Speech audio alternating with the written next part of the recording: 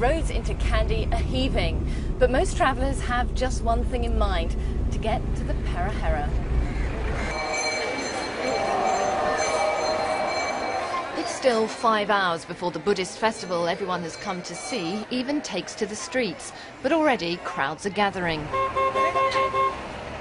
These fine fellows are among the most important guests, the length of their tusks and trunks dictating their role in the ceremony.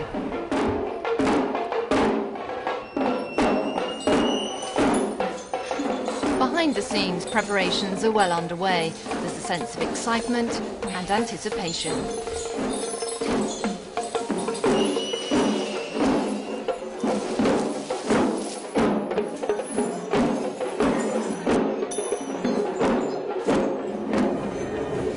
The elephants are dressed up in elaborate refinery hours before the start of the procession.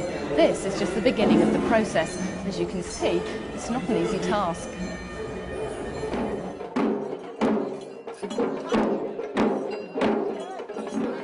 So, how long does it take to dress an elephant? Well, I watched and waited for two and a half hours.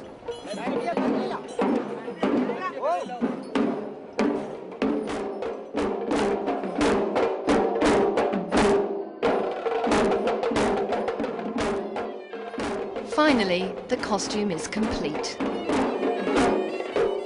According to Buddhist belief, this massive beast has the greatest honor of all, to carry the gold casket, which by day houses one of Buddha's teeth, retrieved from his ashes after he died. Security fears and reverence for the sacred means the actual tooth remains inside the temple, while its custodian presides over the ceremony in its honor. in every year we get this auspicious time due to Sri Lankan tradition. Uh, either in month of July or August, we call it full moon Poya day. So on this full moon Poya day, Poya day we will conduct this procession.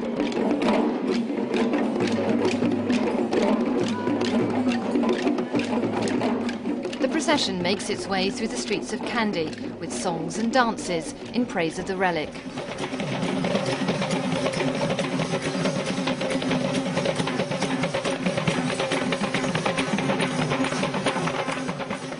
The Master of Ceremonies steps out at the end, dressed in traditional costume, in accordance with the belief that whoever possesses the tooth theoretically has the right to rule Sri Lanka. It's a symbol of kinship and it has a crown, it has a jacket and several colors of clothes and specially made belt, shoes and special, uh, special kind of knife. That is the Kandyan tradition.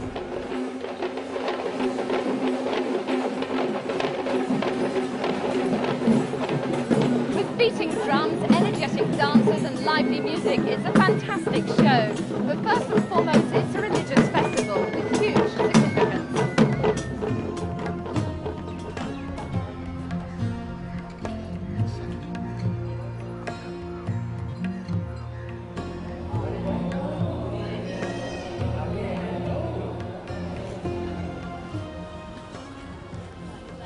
And the focus of it all is here at the Temple of the Sacred Tooth. This is the most important temple for Buddhists across the world and has been the guardian of Buddha's left wisdom tooth for the past 400 years.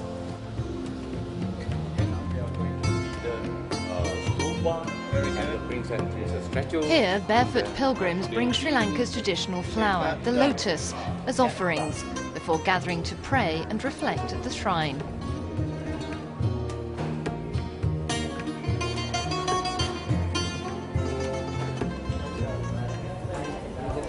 Tell us what's behind this curtain then. This inside the first silver door. We are going to upstairs second golden door. Third elephant's ivory door. And the fourth bulletproof glass inside the Buddha's tooth relic casket. That is seventh covering golden casket inside the Buddha's tooth up to golden lotus flower.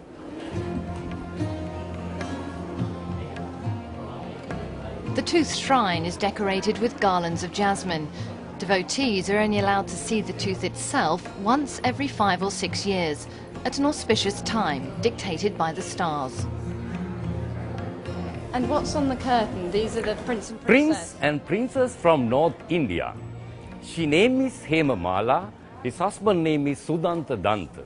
She brought the Buddha's tooth, North India to Sri Lanka, Buddha's tooth hidden in a hair. That, it's said, was more than a thousand years ago. Today, the shrine and the festival associated with it attracts thousands every year.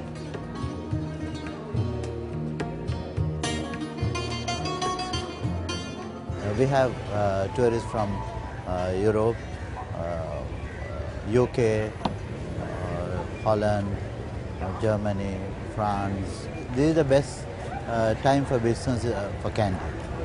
It's good for the hotel as well as for this part of Sri Lanka as well.